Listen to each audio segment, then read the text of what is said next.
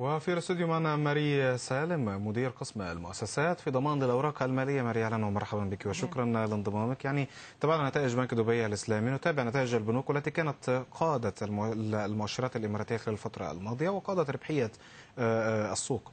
في هذه الفترة تتعرض البنوك لمتغيرات منها خفض الفائدة مرتين متتاليتين من قبل البنك المركزي طبعا مع خفض الفدرالي الأمريكي متوقع خفض آخر هل سيتأثر هامش ربح الفوائد من ناحية وهل سيتم تعويضه من ناحية أخرى بانخفاض أو بارتفاع الطلب على القروض؟ هلا نحن مؤخرا كنا شايفين إنه في تغيرات عم بتصير فعلا وبرأينا إنه في نسبة كثير كبيرة منها هذه التغيرات كانت already built in بالأسعار تبع بال financials أو ال estimates وشو المتوقعات تبع البنوك بالفترة اللي جاية. يعني هلا حتى عم نحكي إنه في توقع إنه تخفيض جاي لقدام. كمان حتى بنشوف إنه هيدا ممكن يكون اوريدي البنوك أخذتها بعين الاعتبار وعكستها بأماكن معينة بس إحنا كمان بدنا نذكر إنه البنوك صارت عم تطلع على نوع الخدمات اللي بتقدمها للمستثمرين بشكل مختلف عن ما كانت عليه قبل يعني حتى هلأ وقت بنيجي نطلع تنشوف كيف القروض عم تقدمها للزبائن اللي موجودين عندها بتختلف صارت وحتى الفوائد نسب الفوائد أو اللي بده يدفعه. العميل عم بيكون أوطى أو عم بتكون الأساليب بشكل انها تستقطب العملاء بشكل أكبر. لا فهوامش الربحيه أكيد رح تخف بس أكيد البنوك عم تسعى إنها تعوضها بمحلات ثانية نعم. يعني فتصورك لأرباح الربع الثالث للقطاع المصرفي إنها حتكون نوعا ما مشابهة للربع السابق. يعني ما حصل تغيير كبير عليها مثلا استراتيجيات البنوك لأنه من بداية العام ما وجدنا إنه في تغير واضح.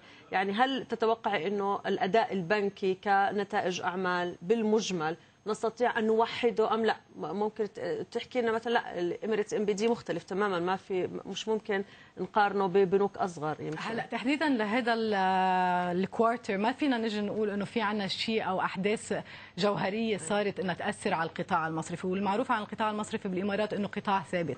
يعني بتلاقي كل البنوك بحكم إنها تابعة للبنك المركزي اللي هو جدا شديد بالقوانين تبعه بتلاقي البنوك ماشية على نفس المسار دائما ودائما عندهم توجه موحد كيف إنه هن بدهم يضلوا محافظين على الثبات يلي هن بيقدموه للعملاء. فبتوقع إنه okay ممكن نشوف إنه في شوية تفاوت بالنتائج تبع البنوك بس ما في شيء حيكون مفاجئ بشكل ملحوظ إنه يأثر على زعزعة سهم معين لبنك معين أو أي شيء من هذا بالأسواق المالية. طيب. وشفناها تحديدا بدبي الإسلامي يعني إنه شفنا ال margin ال profit margin الاختلاف تبعه ما كان هذا الشيء كثير ملحوظ. طيب يعني من الواضح أن السوق في الفترة الماضية لم يكن يتفاعل كثيرا مع النتائج. يعني حتى من بعض الشركات تأتي نتائجها إيجابية. هناك حالة من تراجع الثقة في الاستثمار في الأسواق الإماراتية بشكل عام ويعني هذا أمر واضح حتى من أحجام التداول. الآن يعني البعض كان قد أرجع ذلك إلى تراجع ربحية القطاع العقاري وأهمية هذا القطاع سواء تأثيره على القطاعات الأخرى أو في السوق. والبعض الآخر قال أن الشركات ذات الخسائر المتراكمة أصبحت تمثل نسبة كبيرة من الشركات وبالتالي أفقدت الثقة في السوق. برأيك هل يمكن استعادة الثقة مع أي نتائج حتى لو كانت مفاجئة أم أن الوضع سيظل كما هو؟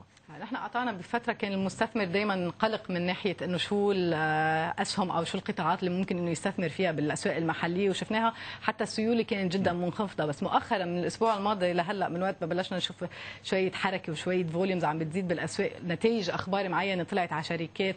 ما راح أقول انها الشركات القيادية بالأسواق بس إنه في في أخبار إيجابية كانت عم تطلع وإنه نشوف المستثمر عم بيتفاعل معها بشكل إيجابي واللي شفناه يعني خلال الفترات الجلسات السابقة.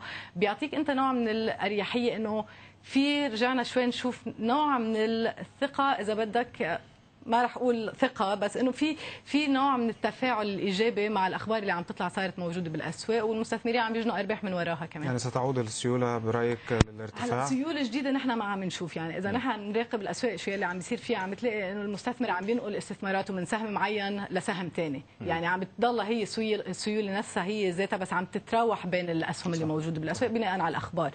لو لو كان عندك نوعية الأفراد اللي بيستثمروا في سوق الإمارات يعني بيحبوا ينتقوا أسهم بعينها أو قطاع معين وكان توجهاتهم على التطوير العقاري. انتظروا صبروا كثير. حتى الآن ما شفنا مثلا أربتك مسك عدد درهمين ما شفنا على سبيل المثال إعمار استطاع أن يثبت فوق الخمس دراهم. وأنت تتكلم عن أساسيات يعني أكيد مختلف افصاحات هذه الشركة عن تلك. وبالتالي هل لدينا احتمال قوي بأن تنسحب آه، السيولة المتبقية على هذه الأسهم من السوق لأنه خلص. يعني أنت بتحكي في بارقة امل والبعض الآخر يقول لا صبرنا كثيرا رح نطلع بخسارة رح نطلع يعني ولا لا؟ هلا نحن إذا بدنا نجي نطلع على القطاع العقاري بالإمارات حنلاقيه كثير undervalued صار. يعني صار صار الأسعار آه، جدا واطية والمستثمرين صحيح مثل ما أنت قلت فقدوا الأمل نوعا ما بأسهم معينة. بس إذا بنجي بنطلع عليها في عندك المستثمر يلي هو دائما بيطلع على القيمة تبع السهم يلي هو عم يشتري فيها. هدول ما رح يتغيروا.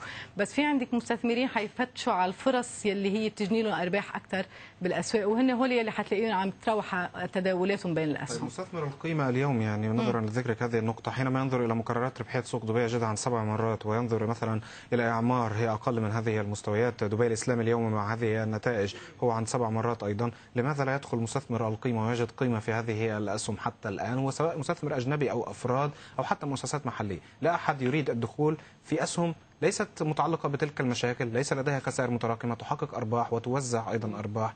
أين مستثمر القيمة من هذه الأسهم؟ لكن مستثمر القيمة يعني إذا بدنا نجي نحكي ال financial institutions financial institutions عندهم mandates معينة عندهم آه، خطة معينة هن مضطرين إنه يلتزموا فيها. بتلاقي آه، ال portfolio تبعهم حاملة أسهم معينة على مدار السنة يعني وما بتتغير ولا بأي شكل. العالم حينما نشاهد سهم بهذه المواصفات وهذه المكررات تتوجه اليه الاستثمارات مباشرة. يعني لا لا يوجد سهم تقييمه سبعة والسهم يحقق هذه الأرباح. ما المشكلة؟ المشكلة إنه ما في عندك ثقة كان بقى بالأسواق الموجودة هون نحن. عنا يعني هلأ المستثمر عم يرجع يعيد الثقة. لا نعم بالسوق كله. يعني إذا بدنا في عندك أنت دريكن سكال السنة الماضيه واجهت مشاكل. في عندك شركات ضمن الدولة كان في عليها كمان مشاكل وعلامات استفهام. فهيدي بتخلق نوع من القلق عند المستثمر. بصير متجنب إنه هو يستثمر داخل السوق بحد نفسه. بس هلا وقت اللي عم نرجع نشوف هيدي الفوليومز اللي عم بتزيد بقلب الأسواق. نعم. بترجع شوي بتعطيك نوع من المحفز؟ نعم. طب خلينا نرجع نشوف بعض من الأمل اللي يعني استطاعت الأسواق الإماراتية وبعض الأسواق الخليجية بترقيتها على المؤشرات الأسواق الناشئة حتى تكون على مرأى من الصناديق ال passive أو ال active حتى العالمية نوعا ما. وجدنا على سبيل المثال بالسوق السعودي في تدفقات أجنبية. وإن كان أغلبها لصناديق الخاملة أو ما بيسمى بال passive أكثر من النشطه هل بتجدي إنه إحنا صعب جدا مدير صندوق أو مدير محفظة نشط اكتف يستطيع فعلا أن يقرأ السوق ويحلل أدائها وبالتالي يدور ويقوم بعملية إعادة تكوين الأصول ويبيع ويشتري. أما الموضوع لا خليها ارميها على كل المؤشر. أريح لك لأنه صعبه صارت لا ليكي في عنا قطاعات نحن ما فينا ننكر إنه هي كانت دائما محافظة على ثباتها. فما فينا نجي نظلم هلأ كل القطاعات بحكم قطاع معين أو شركة معينة كان ادائها سيء بالفترة اللي قطعت. فصناديق الاستثمار اجمالا مجبورين إنه يكون في عندهم استثمارات بهذه القطاعات وهون وين بتيجي الانتقاءات يلي بتصير هي عليها. هون بتلاقي إنه في عندك حركة مثلا على القطاع المصرفي بتلاقي في عندك حتى بالقطاع العقاري في أسهم معينة إنه بالتقسيمة تبع ال funds اللي موجودة لازم يكون في عندك انت هيدي ال diversification فمج... إنه لازم يكونوا موجودين وخاصة إنه نحن موجودين بال MSCI وبال FTSE يعني مش إنه آه، موجودين على الهامش بالعكس. نحن نشكرك على هذه التحليلات ماريسا لمديرة قسم المؤسسات في ضمان الأوراق المالية. شكرا جزيلا شكرا, شكرا لك.